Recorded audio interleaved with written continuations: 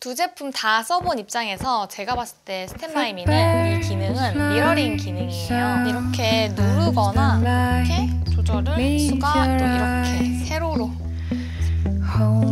이렇게 스마트폰 사용하는 거랑 비슷하게 그럴 때 스탠바이미는 바로 화면을 터치해서 키패드를 누를 수 있으니까 너무 편하더라고요.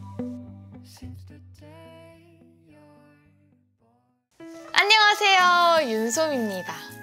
출시 후부터 지금까지 줄곧 눈여겨봐왔던 LG 스탠바이미 드디어 저도 써봤습니다. 지난번에 루멘스타의 스마트 모니터를 보여드렸었잖아요. 근데 그때 댓글에 스탠바이미도 궁금해요 하시는 분들이 좀 계시더라고요.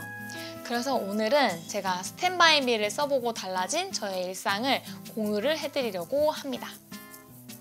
두 제품 다 써본 입장에서 제가 봤을 때 스탠바이미는 무선이고 이 스탠드가 일체형이라는 점에서 메리트가 있는 것 같아요. 콘센트 제약 없이 더 자유롭게 이동하면서 쓸 수 있고 스탠드는 뭘 사야 되지? 이런 고민을 하지 않고 바로 깔맞춤으로 이렇게 예쁘고 편하게 스탠드를 쓸 수가 있으니까요.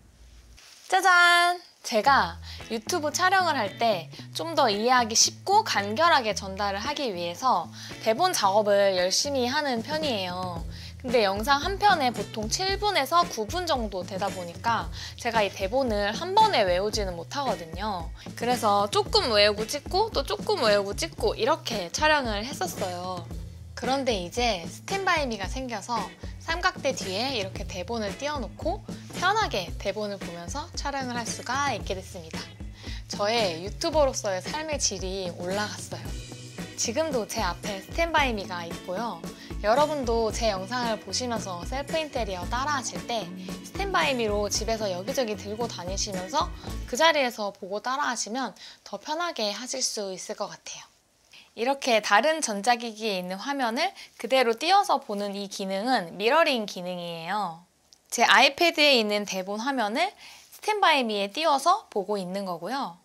이렇게 화면에서 에어플레이를 누르고 아이패드에서 TV를 선택하시면 바로 짜잔! 띄울 수가 있습니다.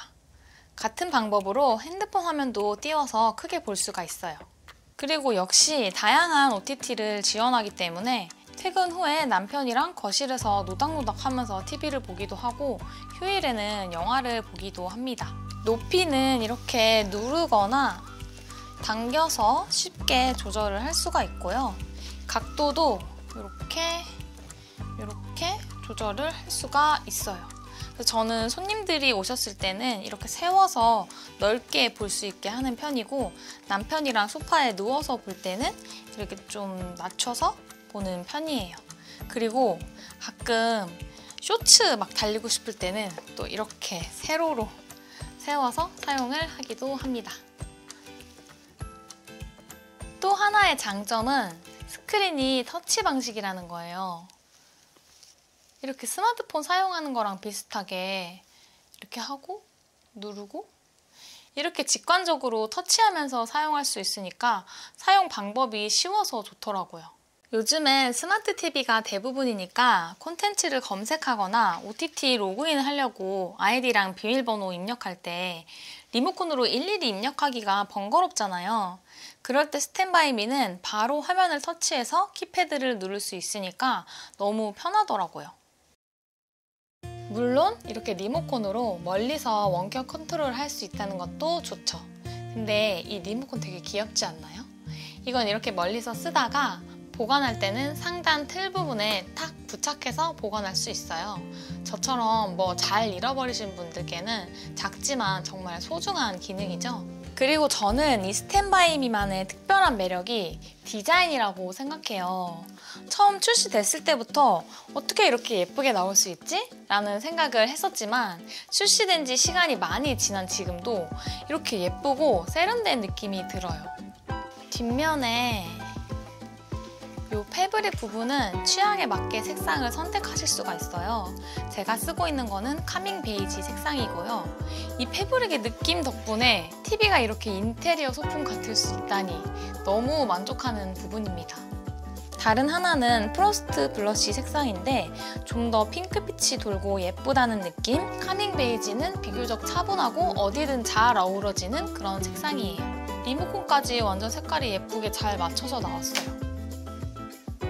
나에게 스탠바이미란 워라밸이다.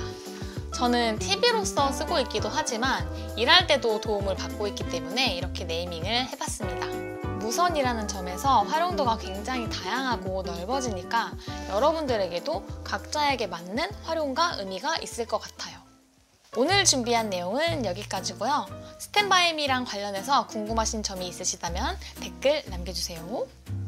안녕!